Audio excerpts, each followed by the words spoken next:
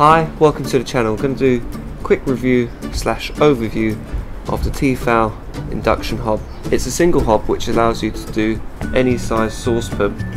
It's got preset functions. We've got your heat milk, stews, stir fry, deep fry and just a quick boil water function. You can also manually control how hot you want the hob to be.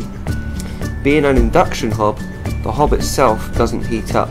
What it does is that it uses electromagnetic induction to induce a current inside the base of of your saucepan or pan, whichever whatever you're putting on the hob, and it's the resistance of that current which heats up the pan and heats up whatever you're cooking, and that's what makes it more efficient than just a standard hob which heats up itself because you're not wasting any energy heating up the surface.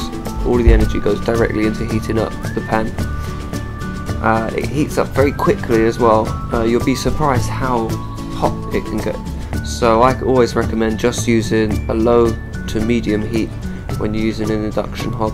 Being an induction hob, you do need to use saucepans or pans or frying pans that have a magnetic base quick test, get a magnet, slap it on the base, as long as it's flat and magnetic it should work. So we're talking cast iron, stainless steel, aluminium with a stainless steel plate, would be fine. Uh, very happy with this product, easy to clean, I gave it a quick wipe with some glass cleaner, comes up just fine. When it's on, it's not too loud, it does have an inbuilt fan to reduce the heat on the electrical components um, after the, the hob has been used it will continue to run to cool down the hob itself. Obviously with a hot plate with the pan on top heating up some of the heat goes into the hob so you have to be careful after you've used it. With its size you can use it anywhere. So if you're in a hotel you just need something to tide you over.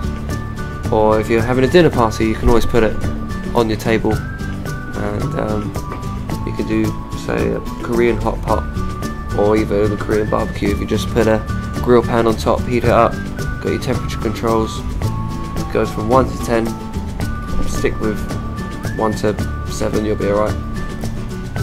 As again, being induction, you don't need to use the highest heats.